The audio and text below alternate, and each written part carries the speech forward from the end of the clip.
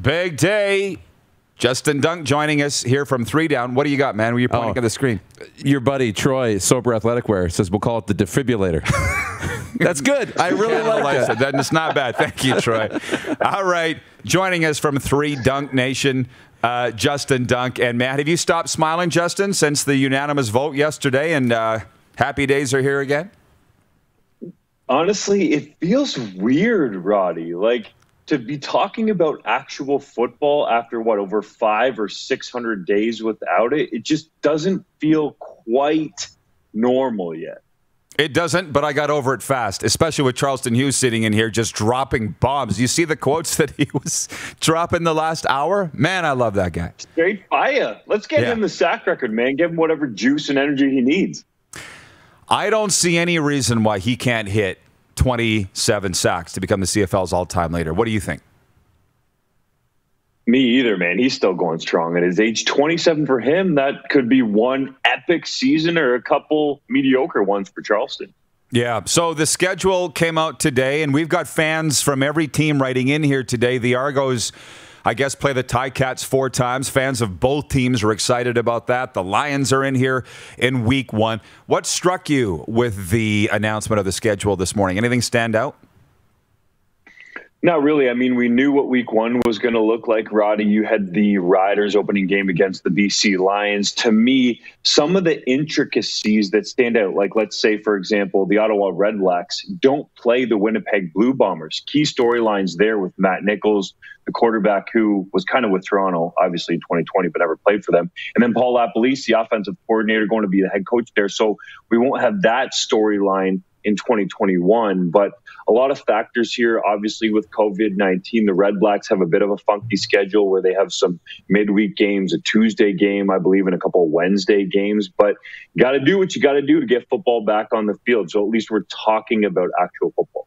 Hey JD, how much are you hearing about roster sizes? Because that's you know we're talking to football guys, and I was talking to a couple of guys uh, connected to the league yesterday, and they're worried about injuries. Right, guys haven't been in contact situations for you know a couple of years now. It's it's starting to you know will that be a factor? Right, more injuries. Will they increase practice roster sizes? What are you hearing in that? Well, they're talking about initially how many guys are going to be able to bring to training camp, which I think will kind of get pared down to what you're talking about there, Dude. So 100 was the initial number. I know there was some talk of cutting down to 75 because it could potentially save you some money in terms of the guys having to quarantine up here and the teams having to pay for that. So that's still being debated. It sounds like there's going to be expanded practice rosters and people are going to have to adjust and i mean football people their ready list for maybe guys that are in canada depending on what happens with the us canadian border What are the uh, hiccups the rest of the way? I mean, we know how the CFL operates. It's not probably entirely different than a lot of other leagues because there was no handbook in the pandemic. But I mean, Charleston just said he's like, I don't know where training camp is. Right? He does. there's a lot of loose ends here left after the vote yesterday. So what needs to be tied up to get onto the field into training camp and then kick off August fifth? First of all all those details you know need to get out to the players as it currently stands in the memo that we have up at three down nation from solomon elimimian and the pa president is that all the players and you know coaches and the staffs are going to have to do a seven day quarantine before they get to canada a seven day quarantine when they arrive. Now that might change because the cfl is trying to get the same nhl exemption that they had for the trade deadline. So potentially that gets truncated and smaller in size. But in terms of the details overall, it's going to be very much like NFL training camps. And the example I've been using is what we saw in Hard Knocks last year, where the players and coaches and personnel guys are going to convene for practices and they'll be on the field together. But outside of that, it's largely going to be Zoom meetings. So, as far as what they need to figure out is all of these logistics, man. Like I was saying for a while, there's no season until travel is being booked. So, that travel right now is frantically being put together. Staffs are being rehired on the business side, on the football operations side, even medical staffs, training staff. So all those types of things are going on right now, and the timeline is shrinking for it. But hey, at least we're talking about football. It seems absolutely frantic. How could how couldn't it be, right? So many staff were laid off in all this, and and I get it, and I have faith that they're going to pull it off. Um, there are a lot of people Insiders still saying I'll believe it when I see it kick off August 5th. Uh, and I'm still kind of that way. I'm trying to be positive, but for all the reasons you just outlined, it's not going to be easy. There's no doubt. Um, how confident are you that they pull it off August 5th? I'm fairly confident. I know the timeline is short. There's some people that are worried about that, but the CFL wouldn't come out and say, yes, we voted and are going ahead with it and all of a sudden hit the pause button. It just wouldn't look good from a public relations standpoint. So my confidence is fairly high. I do think there are a lot of things that are going to be done on the fly. But on the flip side of that, and to be fair to the league, they've been talking with the provincial governments for a long time, the local governments in each city, and even the federal government. So they have a rough idea of the framework that they're going to follow along. And I'll use the example of the Canadian Elite Basketball League. They had their summer series in Ontario and St. Catharines last summer. And I was down there and it was very simple. They followed the protocols. So, as much as people kind of get lost in the details a little bit, you just have to follow the protocols as an individual.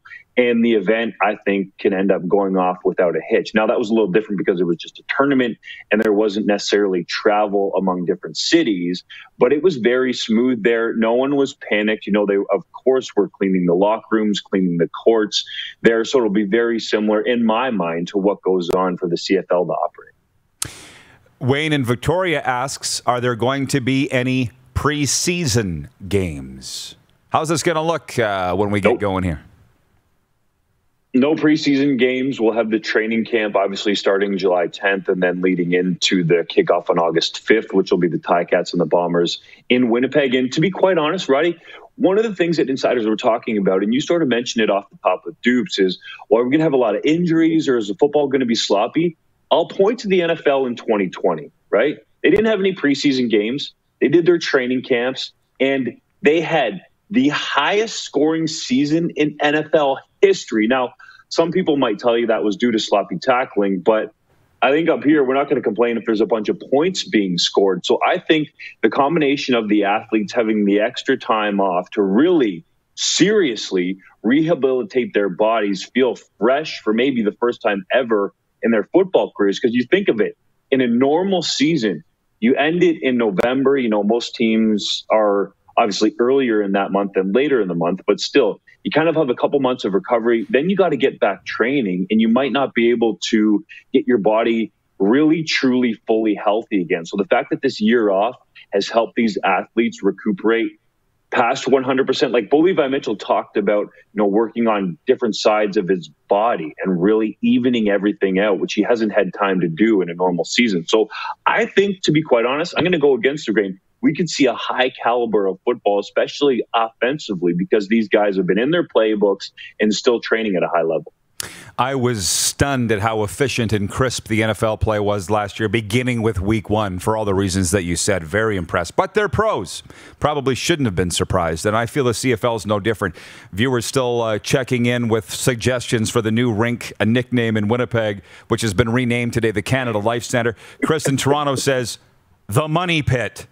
What do you think, Dupes? I could get into From it. Tacona Powley. Could you get into the rink? I could get into that. From Tacona Powley in Winnipeg, the CLC Center, Heartbeat House, the heartbeat of Canada. Ooh. Not bad. Not bad. That's good. Not bad. Jen from the Four Seasons says, Do we know how many fans are going to be allowed or at all? Saw the report on Sports Center uh, this morning saying that they don't have any approval for crowd sizes yet in any venue in the, across the CFL. So, what do you know about that, Justin? They don't, but if we go around the provinces real quickly, right? Jason Kenney expects the stadiums to be at full capacity in August when the season opens. The BC Lions are hoping for 5,000 fans for their first game at BC Place when that occurs.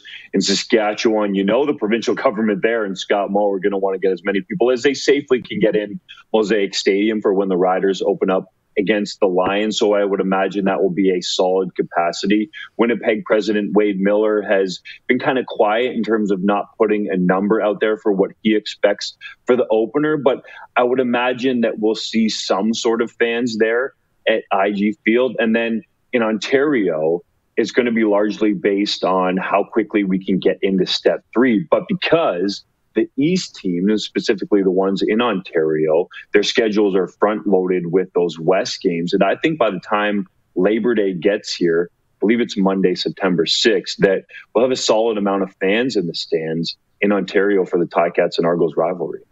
Outstanding report, Justin. Uh, give a plug for Three Down, if you don't mind, to our viewers. You bet. Three Down Nation got all the goods there, Roddy. And I'll say one key thing in all of this, because the big thing to me, and I want to make sure I get this in there, in terms of the vote going from no in 2020 to yes in 2021. And there's been a lot of Argo bashing out there, so I feel like we got to even it out.